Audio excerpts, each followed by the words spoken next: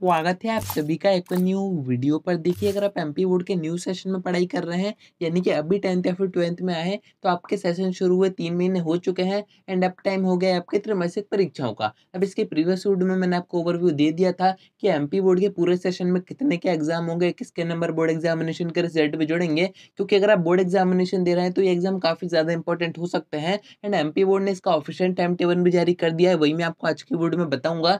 साथ में आपका कितना सिलेबस आएगा साथ में प्राइवेट स्कूल्स और गवर्नमेंट स्कूल्स में डेट्स का क्या डिफरेंस रहेगा? क्योंकि ये जो डेट्स आई हैं, वो गवर्नमेंट स्कूल्स की आई हैं प्राइवेट स्कूल्स में त्रैमासिक परीक्षा है, यानी कि टर्मिनल एग्ज़ाम कब तक होंगे? एंड एक सबसे मेन क्वेश्चन जो आप सभी की तरफ़ से काफ़ी बार पूछा जाता है कि ये जो एग्ज़ाम्स हो रहे हैं, त्रैमासिक परीक्षा इनको देना कितना ज़रूरी है? अगर हम इनको ना भी दें या फिर इसमें हमारे कम मार्क्स आते हैं तो हमारे बोर्ड एग्जामिनेशन के रिज़ल्ट पर क्या इम्पैक्ट पड़ेगा? वही से मैं आपको इस वीडियो में बताऊँगा तो एंड तक बने रहिए।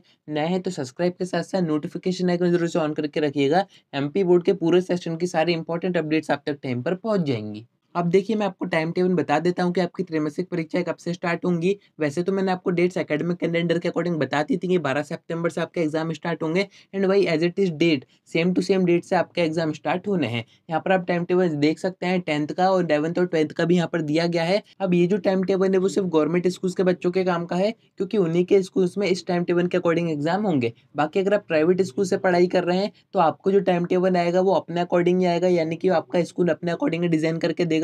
वो तो उनके ऊपर डिपेंड करता है कि उनको एग्ज़ाम कब करवाना है एंड कितना सिलेबस उनको देना है। बाकी जो डेट्स रहेंगी, वो आसपास ही रहेंगी, क्योंकि एमपी बोर्ड से ही अफिलेटेड है आपके सारे प्राइवेट स्कूल्स भी, क्योंकि आप पढ़ाई तो एमपी बोर्ड से ही कर रहे हो। एमपी बोर्ड के अंडर में ही आते हैं सारे तो डेट्स आसपास ही रहती हैं। सेप्टेम्बर एंड में आप ऐसा मान सकते हैं कि प्राइवेट स्कूल्स की भी त्रैमासिक परीक्षा स्टार्ट हो जाएँगी। बाकी अगर आपके एग्ज़ाम स्टार्ट हो गए हैं या फिर बीच में कब से होने हैं तो कमेंट करके ज़रूर से बताइएगा। मैंने आपको डेट्स वगैरह बताई दी हैं, आपके बारह तारीख से एग्ज़ाम स्टार्ट हो जाएँगे एंड इक्कीस तारीख तक आपका एग्ज़ाम खत्म हो जाएँगे। साथ में ये जो नोटिस आया था, वो मैं आपको टेलीग्राम पर पोस्ट कर दूँगा, आप इसको पूरा पढ़ सकते हैं, टाइम टेबल अपना देख सकते हैं, अगर आप गवर्नमेंट स्कूल से हैं तो। बाकी आपको यहाँ पर एक रिज़ल्ट की अपडेट भी बताई जा रही है कि आपकी जो त्रैमासिक परीक्षाओं का रिज़ल्ट है, वो सेम मंथ में, यानी कि सेप्टेम्बर में ही तीस तारीख तक अनाउंस कर दिया जाएगा। अब यहाँ पर रिज़ल्ट क्यों इंपॉर्टेंट है, मैं आपको बता देता हूँ। आपके जो बोर्ड एग्जामिनेशन का रिज़ल्ट आएगा, उसमें इसके भी मार्क्स ऐड होंगे। अभी डिपेंड नहीं करता कि आपके इन एग्जामिनेशन में कितने मार्क्स आ रहे हैं, वो परसेंटेज क्राइटेरिया है, वो मैं आपको एग्ज़ाम पैटर्न की वीडियो में अच्छी तरीके से समझा दूँगा।